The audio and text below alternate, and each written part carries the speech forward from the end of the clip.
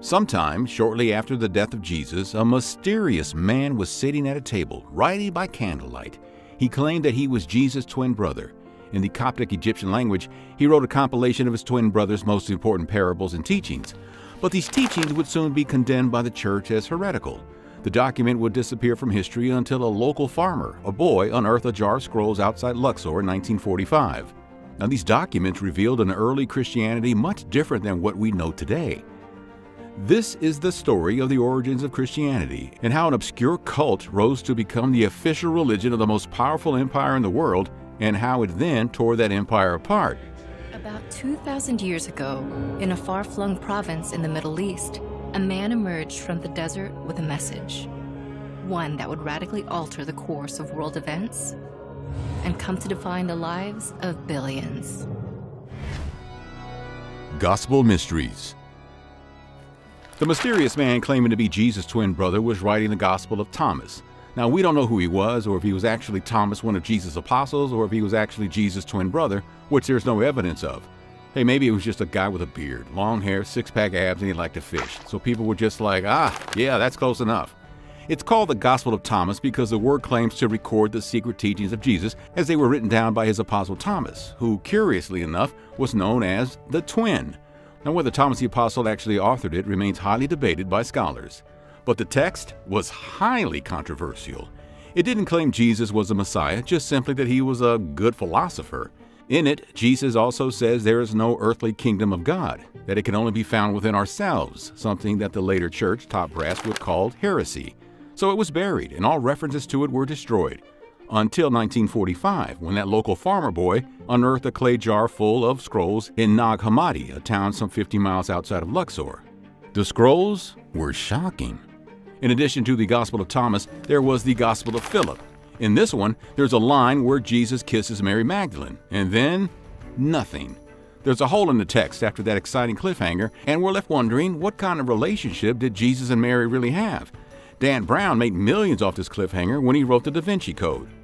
Now, there's also the Gospel of Truth. It's thought that this one was written by a guy named Valentinus in Alexandria around 150 CE. It's considered the most poetic of the texts in the Nag Hammadi library.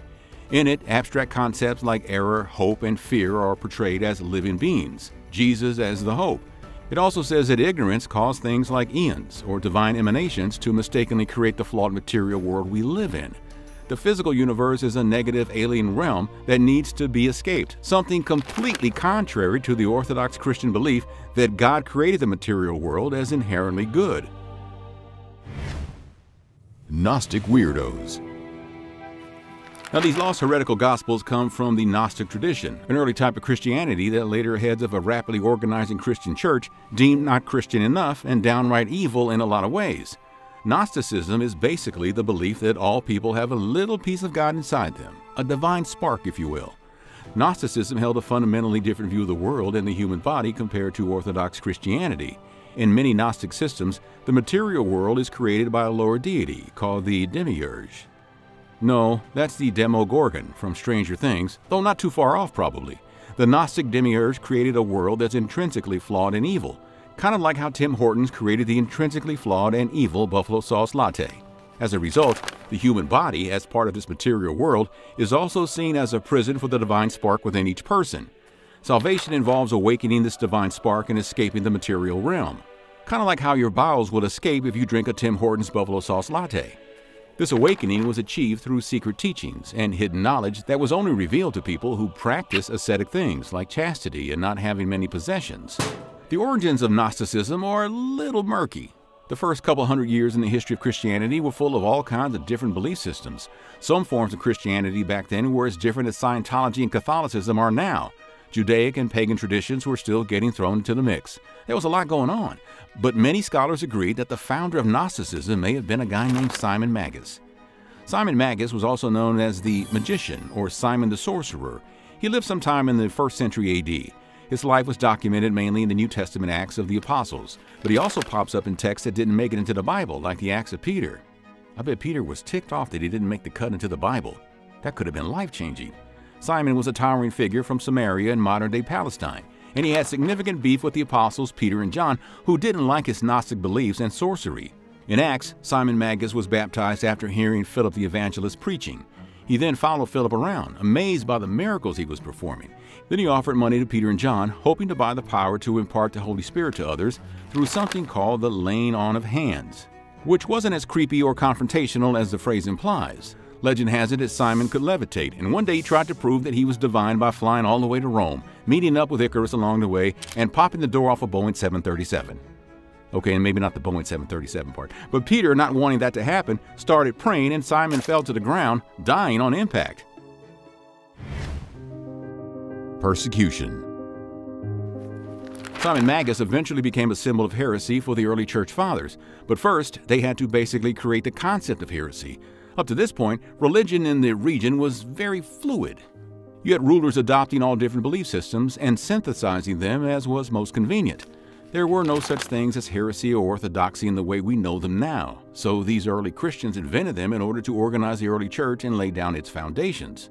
Some of the most influential early guys who made this happen were Irenaeus, a bishop in Lyon in modern day France. There was also Tertullian, a Christian scholar in Carthage, and Hippopotamus, who lived in Rome. Sorry, Hippolytus. All three lived around the mid to late first century, and all three started professing what was and wasn't truly Christian, what was heretical and what was orthodox.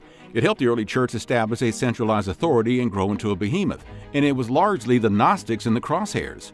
The mainstream Christian church asserted that the true teachings of Jesus were those handed down from the apostles to the bishops who succeeded them, maintaining a continuity of doctrine and practice within the church community. Church fathers like the aforementioned Irenaeus and Tertullian argued that this apostolic succession guaranteed the authenticity of Christian teaching against what they saw as the distortions of Gnosticism. They emphasized the importance of the visible institutional church as the guardian of truth, and that the secretive individualistic path of the Gnostics wasn't the way to go. After all, how can you get a bunch of people to join your religion if you can achieve salvation all on your own? Although some people may argue that in the Bible it is said people must come together in the house of worship to give praise to the Lord, to stand together in unity, so that if one is struggling, the rest can lift that person up. One of the first big Christian schisms was over the Gnostic doctrine of Docetism. Let's try to unpack this one. Docetism, from the Greek dokeo or to seem, says that Jesus only appeared to have a physical body and to suffer on the cross. They theorized that Christ's divine nature was so complete that it couldn't be combined with a real human in the way traditional Christianity teaches. Instead, Jesus' physical appearance on earth was like a phantom or illusion. He seemed to be human but wasn't truly embodied. It's like God was basically just renting out his body, and Christ never really existed in human form. This belief pretty much denied the incarnation, crucifixion, and bodily resurrection of Jesus, central tenets of mainstream Christianity. So, heresy. Historians believe portraying Christ as a human who went through all this suffering on the cross made his story more relatable for people. And relatability is pretty important if you want to spread an idea or a faith. Like, hey, here's Jesus, he's just like you, and he was nailed up on a cross and left to rot, just like you could be if you don't do what we say. Paul's Quest one of the most important figures in the early history of Christianity was Paul. Are we doing this again? No, not that Paul. Paul the Apostle. Paul wasn't one of Jesus' original 12 apostles. He was born in Tarsus in present day Turkey right around the time the whole crucifixion thing was happening over in Israel. At first, Paul was a Pharisee, a Jewish sect known for its strict adherence to the law of Moses and Jewish traditions. As early Christianity started taking root, Paul, then known as Saul, was actually actively persecuting Christians. He gave the go ahead for the stoning of Stephen, one of the first deacons of the Christian church, and the guy who would become the first Christian martyr, I guess if you don't include Jesus as a martyr. In the book of Acts, Saul roams around ravaging Christians, entering house after house and dragging off men and women and throwing them in jail. But then, of course, a miracle happened. As Saul was traveling to Damascus to persecute some more Christians, he was struck blind by a bright light and heard the voice of Jesus asking, Saul, Saul, why are you persecuting me? After the experience, Saul converted to Christianity. He changed his name from Saul to Paul and redirected his zeal towards spreading the message of Christ. I mean, he hit the road, roads that snaked all over the place, Roman roads. One of the reasons Paul was able to spread the Christian message far and wide was because of Roman infrastructure. This massive scale and growing populace necessitated advancements in Roman engineering. A 50,000 mile long road system was built as well. While made originally for the military, it facilitated the movement of people and ideas throughout the empire. Paul built churches and missions all over the place. He preached of a coming apocalypse, of the return of Christ and the end of the current age and the beginning of a new divine kingdom. His travels brought him to Antioch, where he met Peter, one of Jesus' original 12 apostles.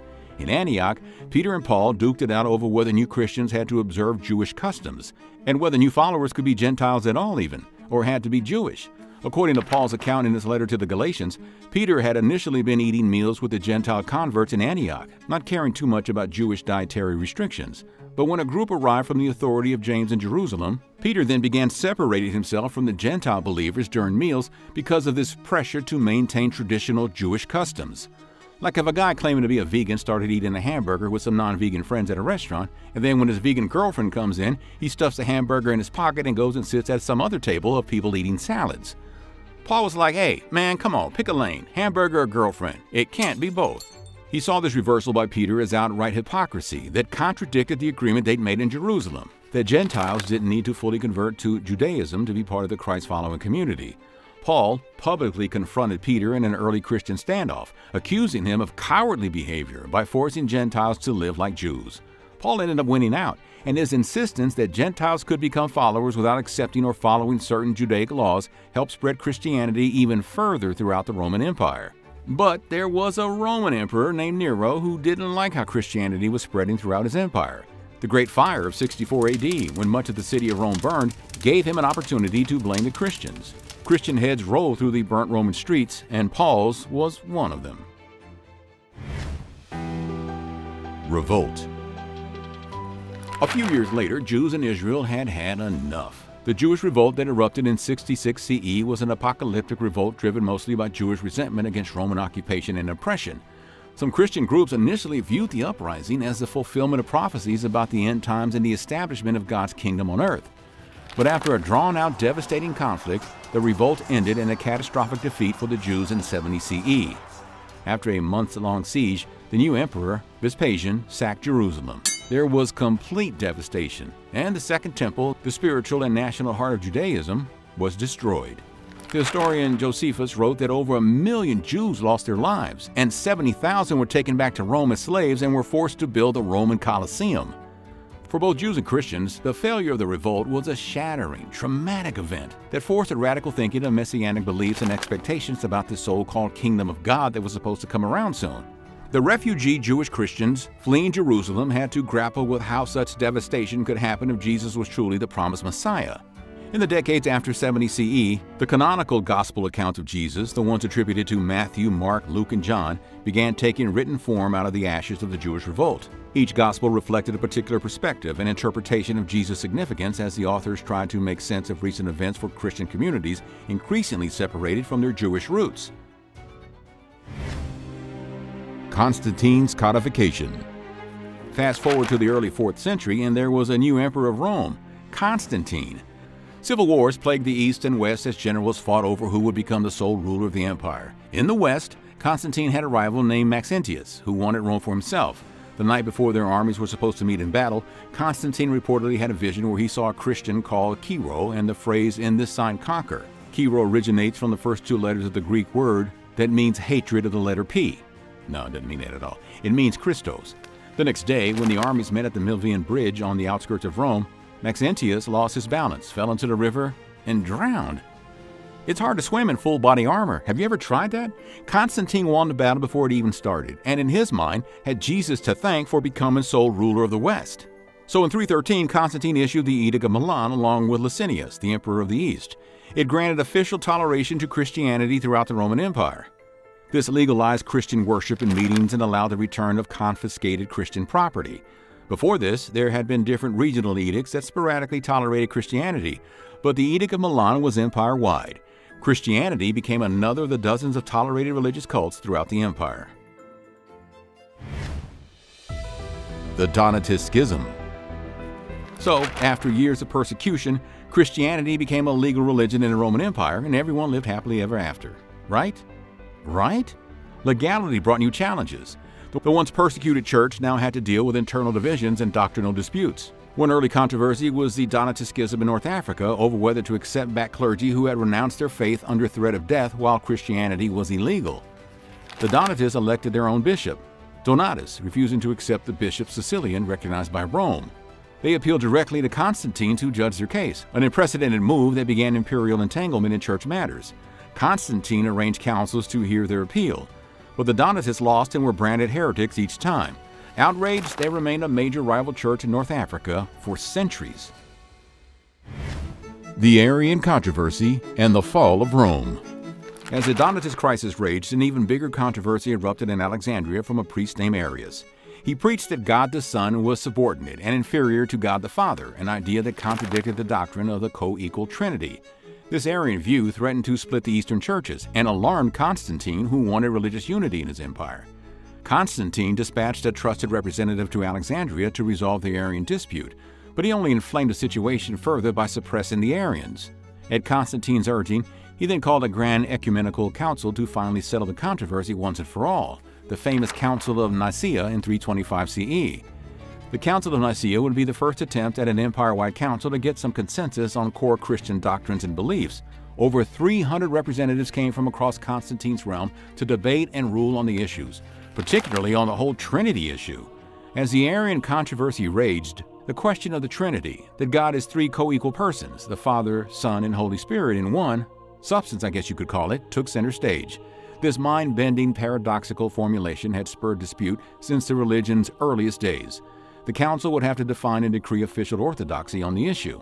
The council was basically an arguing match and backroom intrigue between the two main camps the Arians, led by Arius himself, and the Anti Arians, led by a deacon named Athanasius of Alexandria. Most bishops hoped for some kind of moderate compromise between the two.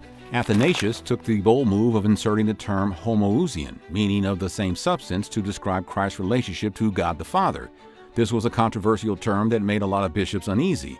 Arius and his followers vehemently rejected it as heresy, calling Christ and God the same thing. Athanasius knew Arius would never accept homoousion, which allowed him to appear more reasonable. He was an agitator. While publicly debating compromises using terms like of similar substance instead of same substance, Athanasius worked behind the scenes politically to assemble a majority coalition for the homoousion view. By threatening damnation, most delegates ultimately signed the Nicene Creed, which validated the whole Trinity idea that the Father, Son, and Holy Spirit were one and the same. Arius and Arianism was declared heretical. But you know what? The Arian doctrine didn't die out. The Arian bishop Eusebius, an advisor to the Emperor Constantine, worked to rehabilitate Arian ideas and get the exiled Arius welcomed back to the empire. When Constantine's son, Constantius II, became emperor, he actually supported the Arian faction. This allowed Arianism to spread outside the borders of the Roman Empire. Eusebius ordained a Gothic missionary named Ulfilas who successfully converted a whole bunch of Gothic tribes to Arian Christianity. The spread of Arian Christianity among the Gothic people really played a role in preventing their full assimilation into the Roman Empire and its Trinitarian orthodoxy. The Goths remained a distinct religious and cultural group outside imperial borders, and they were threatening the empire. In the late 4th century, the Arian Goths came into conflict with the Trinitarian Roman Empire. In 410 CE, a Gothic army led by a guy named Alaric sacked the city of Rome itself. Rome's ultimate downfall, while not entirely because of Christianity, was in a lot of ways still caused by these warring factions within Christianity. Thanks for watching the insane origins of Christianity on Nutty History. If you love this kind of biblical historical content, like and share the video with someone who would too. And don't forget to hit the subscribe button and ring that bell to keep up to date with all the videos about the nutty side of human history.